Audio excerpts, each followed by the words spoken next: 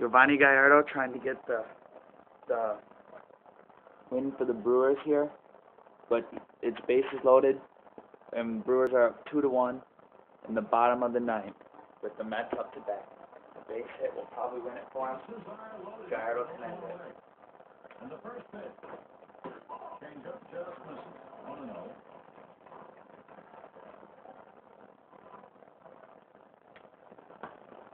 Fastball. Oh man, can't walk that run in. No. was hard, and it's three and. Yeah. Come on, we're leaving no in. Ain't no way who's coming out of this situation. That one hit well. Hearts there. Yeah, here we go. For the win. Throw him out. Throw him out.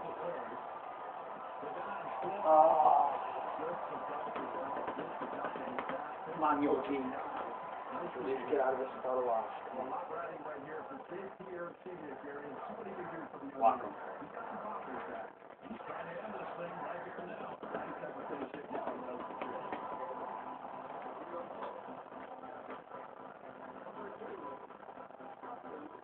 Here's Tournament left, and he needs to come through here with two down. He's still got to play back in this situation. Yeah. Woo. Come on, baby. And the uh, first pitch was a strike. That allowed him one here. He needed to swing. Hot shot. And there it is. Could this be it? And go! The winning one scored, and that's a wrap.